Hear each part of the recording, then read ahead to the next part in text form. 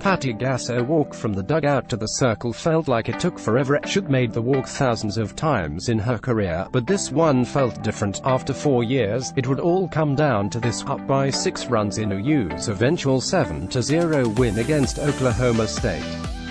36 to 19, 12 to 6, Big 12. Gasso finally reached the circle and gathered the Sooners together to take out ace pitcher Paige Parker for the final time in the regular season. I knew that we were going to do it, and I didn't know what I was going to feel, Gasso said.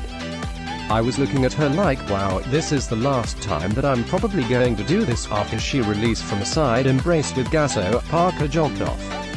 The Fielders the regular season record 1,828 fans stood in an ovation, cheering on the player with two national championships and three Big 12 Pitcher of the Year titles.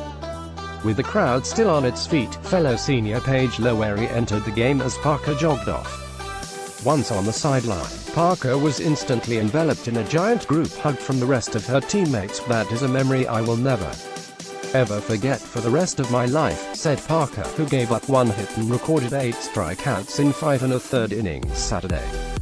That was something that was really, really special to me.